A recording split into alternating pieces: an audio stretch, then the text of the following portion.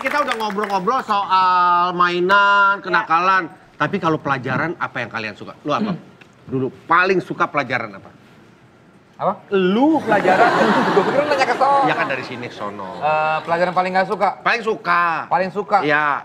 Eh, r- eh, agama Islam. Aja, agama tuh kayak kesannya tuh adem gitu loh setiap belajar Iya sih, agama. iya sih. Iya. Ya apa? benar-benar. Pak- Aku yang paling aku suka biologi. Karena kebetulan aku suka materi reproduksi kan. Oh. Iya iya iya iya iya iya iya iya. Kalau kamu apa, Stephen? Aku kesenian.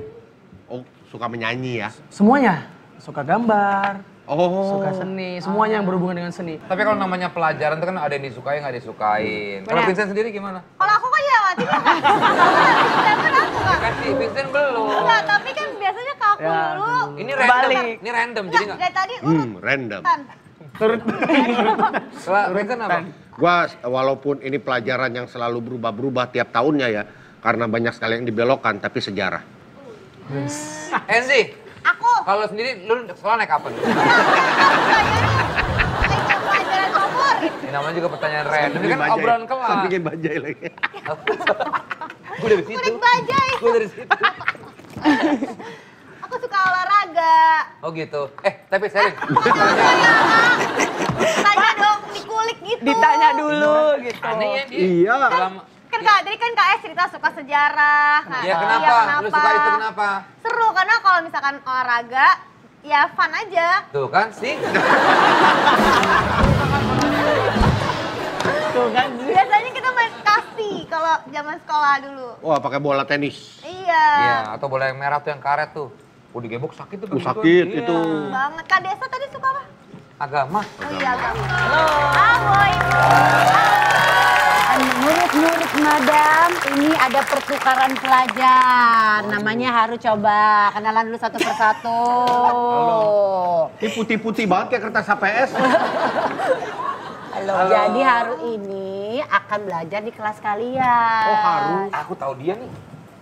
Dia reading dari itu bisa ngereading, bisa baca Maerot. Tarot. Bisa baca tarot ya? Betul. Iya, dia belajar tarot lama, makanya sekarang mungkin kalian bisa mempelajari sesuatu Oh iya, dari saya- Haru. Kamu kamu belajar tarot. Saya enggak. Bukan.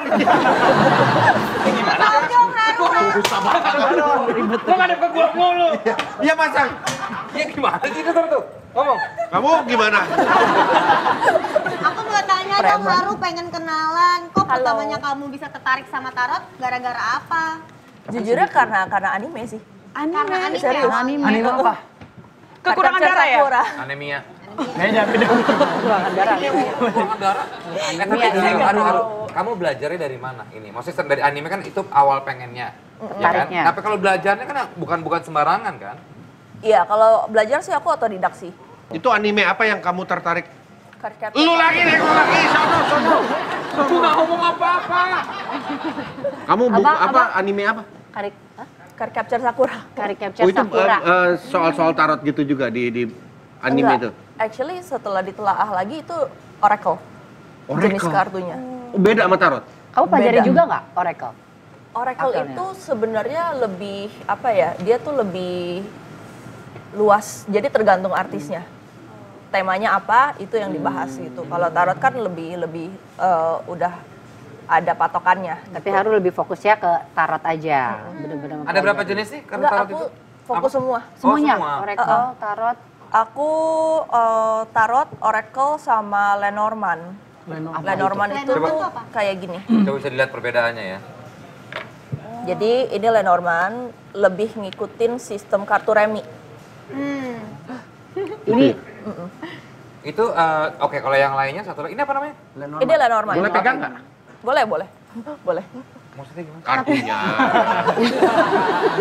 dia dia dia eh, kayak kartu kuartet. Lebih ke remi ya? iya Rami. Lebih ke remi, lebih ke remi. Ada ini, tapi sama-sama remi. tarot. Eh, Fungsinya digu- beda ya? Digunakan untuk meramal juga intinya. Oh, Fungsinya sama. Anchor. Membacakan Iya, iya, iya. sesuatu. Tapi ini bisa dipelajari secara ilmiah nggak sih? Orang pasti menyangkut pautkannya dengan mistis. Oh bisa banget. Sebenarnya kalau tarot itu tergantung orang ya. Karena kan tarot itu esensinya ada lima.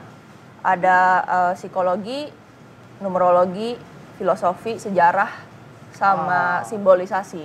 Jadi belajarnya dari situ. Dan bisa jadi media konseling juga ya? Iya, kurang lebih gitulah. Ini apa? Tarot ini. Tarot. Mm, Ini taruh. Coba, siapa dulu? Stefan mau nggak? Stefan atau Selin nih baca ini. Mau pakai yang tarot apa yang si Norman?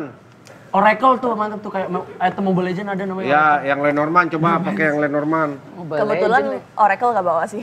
Lenormand aja Lenormand. Lenormand. Kalau tarot kan sering. Lenormand Iya. coba coba dari Lenormand coba mana? Lenormand. Coba. Normal yang itu. Mana? Tadi. Wow, no, Dia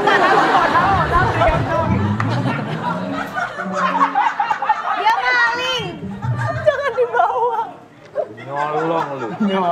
Nyolong kamu. Coba siapa dulu? Selin dulu ya. Nanti habis itu baru tarot. Oke. Oke. Aku nanya apa ya? Rumus matematika dia mau nanya. Nggak biasa soal apa sih kalau nanya-nanya? Maksudnya kalau yang Kalau pakai Lenormand. yang yang umum apa sih?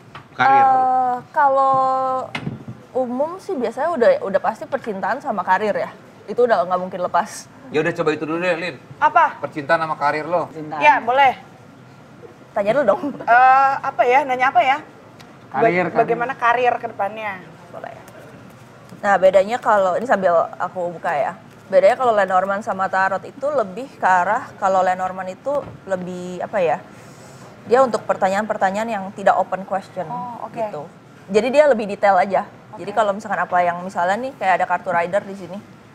Misalnya ada kartu rider di sini, ini artinya eh, pergerakan yang cepat. Berarti karir kamu itu melesatnya cepat gitu. Udah sampai situ aja. Beda sama tarot yang bakal cepatnya kenapa gitu. Oke.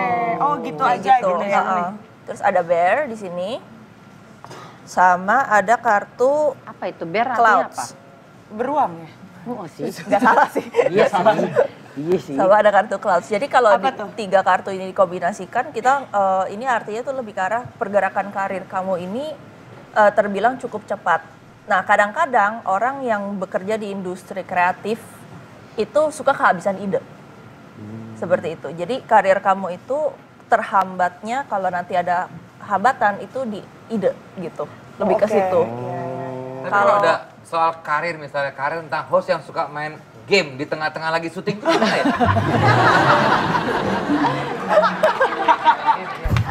Ini lagi syuting. Lagi syuting nih.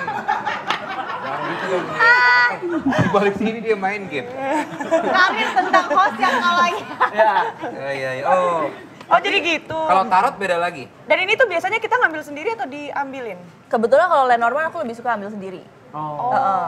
Kalau tarot biasanya aku suruh Lebih menarik mana kalau untuk dibahas gitu misalnya lebih menarik pakai tarot apa pakai Norman? kurang lebih sama aja sih Oh, sama aja. Heeh. Saya dong percintaan. Lu ngapain? Cinta. Cintaan. Karir lu pakai tarot apa pakai Norman? Tarotnya hilang. Tarotnya. Stephen, Eh, Stephen. tunggu dulu. Tarot. Ini tarotnya hilang. Vincent! Bukan, bukan, kan. Ini lu, lu, lu.